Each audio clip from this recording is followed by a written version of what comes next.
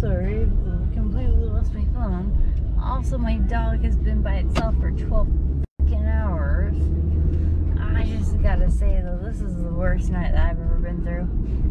Absolutely worst. On a scale of 1 to 10, how bad's your name? Uh, not that bad. Oh, oh, so great. Yeah, please unplug This is that. a call from your passenger. Hello? I'm sorry, it's so loud. Um, you parked in front of. I'm outside. I'm trying to find you. Uh, okay, give me one minute. So you're not Amber, are you? No, I am. Well, someone just called me saying that they are Amber. I'm Amber. I'm You're- asking to go home. Yeah, but you're not the right Amber. Like, Oh, this is. did we do we get the wrong confused?